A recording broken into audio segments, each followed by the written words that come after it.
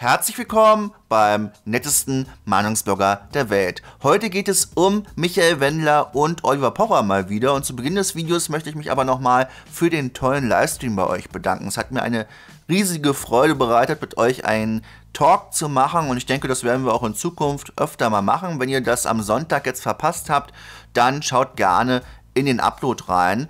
Dort ist das Ganze für euch auch nochmal hochgeladen worden und dann könnt ihr das nochmal nachholen, wenn ihr mögt. Ansonsten werde ich auch auf euren Wunsch eingehen, eine Wendler-Playlist zu machen. Es hat sich jetzt hier einiges angesammelt an Wendler-Videos die letzten Wochen und ich denke auch, dass es ganz gut ist, falls Leute auch neu dazustoßen oder wenn ihr auch mal einzelne Videos verpasst habt, dann eine eigene Playlist dafür zu haben. Ansonsten wird es heute wieder um Oliver Pocher und auch Michael Wendler gehen. Also wenn euch das Thema generell hier interessiert oder auch generell einfach ja, Trash euer Ding ist, dann lasst gerne für die tägliche Dosis Trash auch ein Abo da. Das würde mich sehr freuen. Wir sind jetzt über 6000 Leute hier. Das ist echt der Wahnsinn.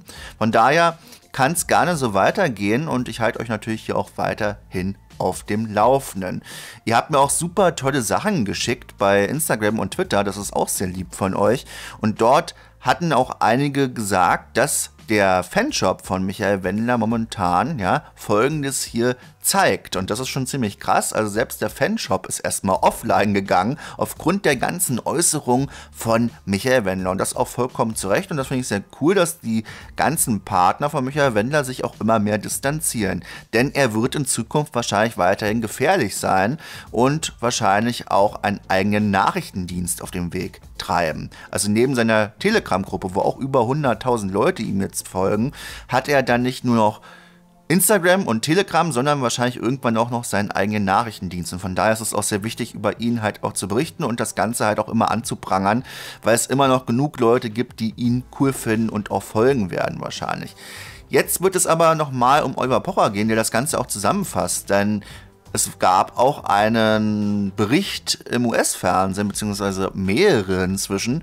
Und das ist auch ganz gut zusammengefasst. Aber seht erstmal selbst, was Oliver Pocher zu der ganzen Geschichte zu sagen hat. Und gestern, meine Damen und Herren, war eine ganz besondere Folge DSDS ohne unseren Lieblingsjuror Michael. Ja, denn noch nicht mal der Name wurde mehr genannt. Und äh, das hat natürlich für viel Aufregung gesucht bei Michael. Hat gesagt, das ist peinlich. Äh, jetzt verliert ja äh, RTL jegliche Glaubwürdigkeit, ja. Und er weist nochmal sämtliche Vorwürfe von antisemitisches, antisemitisches Verhalten zurück. Genau, wie ich gesagt habe, er weist sogar Grammatik zurück, aber das Geld überweist er nicht zurück. Man kann nicht alles überweisen und weisen. Und ähm, an dieser Stelle möchte ich auch darauf hinweisen, die neuen Autogrammkarten von RTL sind da, von Michael Wendler. Jetzt schnell bestellen bei RTL. Nicht mein RTL, gefällt mir sehr, sehr gut. Und ähm, er hat was angekündigt. Ja, es reicht ihm, denn schon sein großer Buddy Donald Trump wurde ja gesperrt. Und Michael Wendler sagt, er erschafft seinen eigenen Nachrichtendienst. Ja, da äh, freuen wir uns drauf. Unter seinem guten Namen W wie Wendler. W wie Witzfigur. W wie Wurstwasser. W wie... Ach, so viele Ws fallen mir noch ein. Widerlich. Naja, egal. Aber jedenfalls, da freuen wir uns schon drauf. Und auch vielleicht in der nächsten Folge sehen wir dann schon das W am Schreibtisch setzen. Es wäre so eine schöne Geschichte.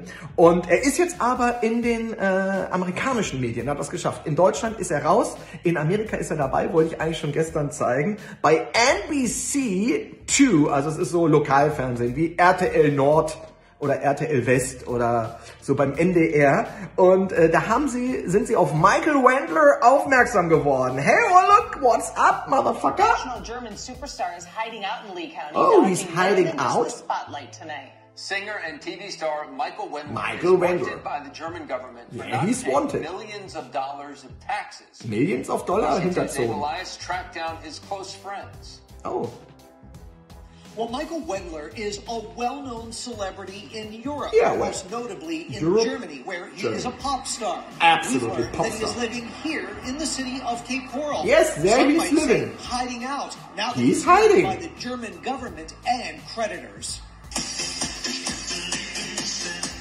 German celebrity Michael Wendler Michael now Wendler. calling Southwest Florida home. He told me once he likes the, the, the, the water and the waterways and the boating. Er liebt so das therefore Wasser. he picked uh, Cape Coral. Yeah, Longtime friend Ollie Winkler says that he knew Wendler left Germany after he was charged with fraudulent bankruptcy. He left Germany for Warum? good. He said he will never return. Wendler reportedly still owing creditors das millions and seen recently on social media attacking the German government. He compared Germany with a concentration camp. Er meint das Krisenzentrum. That's a no-go. Absolutely no-go. Absolutely you, you should no-go. not mention this. German newspapers reporting he's being sued by RTL TV, Absolut korrekt. breaking a contract to appear on Germany's version of American Idol. He's hiding here to not to receive uh, the punishment. Now, NBC2 has learned that Michael Wendler is What living happened? here in Cape Coral legally on a green card. Green card. We're told that the German government has asked the U.S. government to send him back. Was? No word on if or when that will happen. In Cape Coral, Dave Elias, NBC2.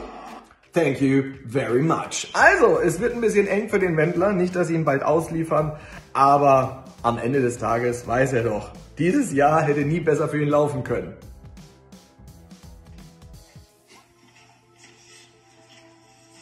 Frohes neues Jahr. Das bezweifle ich. Das war's für heute. Wir sehen uns schon bald wieder. Der eigene Nachrichtendienst von Michael Wendler kann ja nur Comedy Gold werden. Allerdings gibt es genug Leute, die das auch ernst nehmen bzw. auch befürworten. Das merke ich in meinen Kommentaren und es gibt halt auch Fans von Michael Wendler, die ihn so anhimmeln und das Ganze auch gar nicht hinterfragen. Von daher finde ich das immer sehr wichtig für alle, die sich jetzt auch immer mal in den Kommentaren beschweren, dass ich ja nun wirklich auch darüber berichte und wie ich mich da überhaupt äh, ja oder mir das anmaßen könnte. Ich finde das wie gesagt sehr wichtig, dass man halt auch immer wieder auch Dinge dann anprangert. Denn es geht dort tagtäglich in der Telegram-Gruppe heiß her. Es werden da hunderte von Postings gemacht, die von ihm gar nicht gelesen werden können in der Zeit. Also selbst wenn Michael Wendler nichts anderes machen würde, hat er, glaube ich, am Tag nicht so viel Zeit, um alle Quellen auch zu prüfen, ob das wirklich jetzt berechtigte Kritik ist oder einfach nur Schwurbel-Schwachsinn. Und das ist wirklich krass. Die KZ-Vergleiche gehen überhaupt nicht. Darüber habe ich natürlich auch schon oft genug was gesagt, dass das natürlich auch bestraft werden sollte. Und das wurde es jetzt auch. Der Fanshop ist weg. Äh, RTL hat auch die letzten ja, TV-Aufnahmen jetzt zensiert. Das Ganze ist natürlich auch ziemlich krass. Wollt ihr darüber auch noch mal ein Video haben, wo ich über DSDS noch mal gesondert spreche oder ist euch das jetzt nicht so wichtig?